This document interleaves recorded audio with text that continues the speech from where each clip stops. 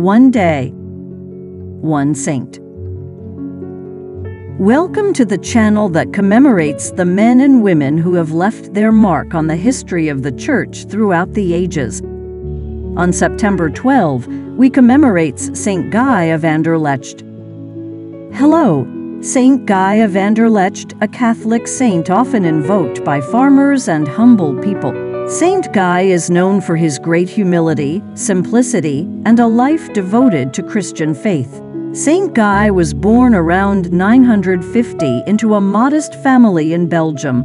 He grew up in the Christian faith and dedicated his life to serving God and others. From a young age, he showed great devotion and sincere humility, leading him to choose a life of poverty and charity. As a young man, he worked as a sacristan in a church in Laeken, near Brussels.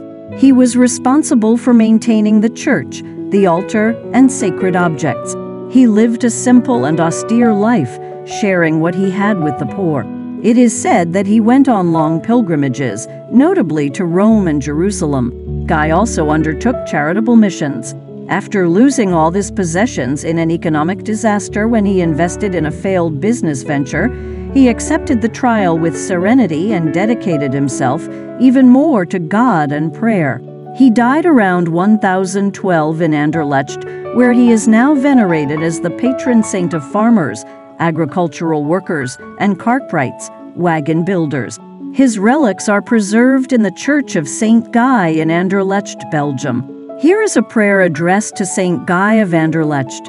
O Saint Guy, you who serve the Lord with humility and devotion throughout your life, we pray to you today to help us follow your example of charity, simplicity, and love for others. Through your intercession, grant us the strength to overcome life's challenges and the grace to remain faithful to God in all our actions.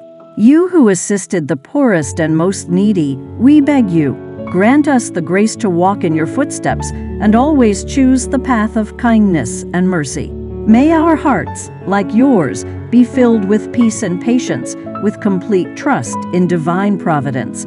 Saint Guy of Anderlecht, pray for us. Amen. Other saints are also commemorated on this day.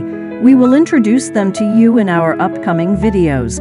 Happy feast day to all those born on this day. We invite you to join us tomorrow for a new saint.